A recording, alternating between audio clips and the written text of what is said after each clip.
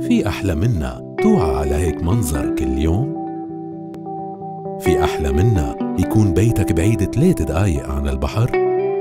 أو إنك تعيش بين جوني وجبيل من أكثر المناطق اللي فيهم سهر وحياة؟ ما في أحلى منا تسكن بحالات SeaView مشروع سكني بأعلى المعايير ابتداء من 148 ألف دولار بس. حالات سي فيو مشروع بأحلى حالاته.